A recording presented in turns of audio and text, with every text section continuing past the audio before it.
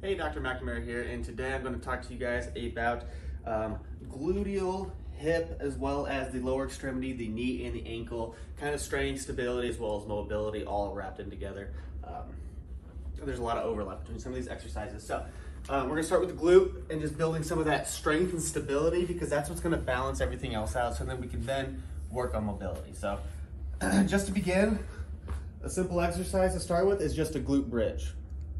So simple as just, you're gonna get into this position and then you're just gonna contract the glutes so the pelvis comes straight up. If that's too difficult, just work it, work on sitting there and just contracting the glutes so the pelvis can lie go up a little bit from there.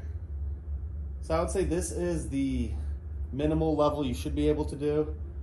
Once you're able to work your way up to a glute bridge and get a nice good contraction there, as that begins to get easy, you can then move on to the next level. Grab a resistance band of some sort. And what's great about the resistance bands is it's gonna wanna pull your knees in. I want you to push your knees out because that's gonna contract the glute medius a little bit more. And that's gonna be, uh, that's more of a pelvic stabilizer than the glute max.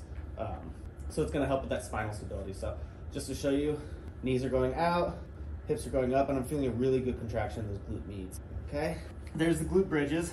Now the next one I want to show is um, once you're able to do the glute bridges with resistance, you want to then start working on a monster walk. I like this one because uh, you're under gravity, so it's more of a functional type of position. And for this one, you want to squat down, and then again, spread those knees out. That's really going to contract the glutes. And then you're just going to go side to side, working on getting nice and low. You can slow the reps down for a little bit more time of your tension. Hey, this is a great one. This is a burner.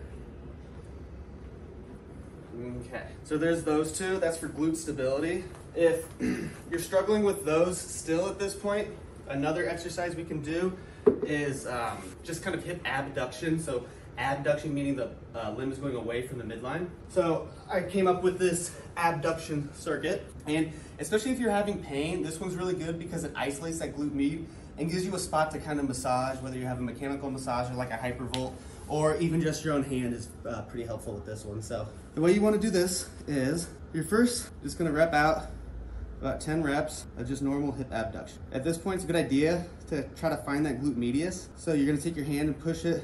There's a bump on the side of your hip. If you go right behind that, you should be feeling a muscle contract a little. If you're not feeling it, the next step, what we're gonna do is you're gonna lift and then you're gonna turn your foot inwards. So you're gonna internally rotate the thigh. Then you should really feel that muscle kind of pushing out back at you and you can find it and then you can start massaging that area. And then we're gonna start doing some flexion into extension to get a little active range of motion while you work on that massage. Rep this out about 10 times or so. And then we're gonna do, since our toe's in, we're gonna do toe touches, about 10 of these. This is burning now at this point. And then we're gonna do heel touches, about 10 of those, and then toe to heel to toe touches and do about 10 of those. And that's really gonna activate that glute medius. If you are in any type of pain, that massage should relieve the pain and then the other movements will help get it prepared so you can start performing the glute bridges as well as the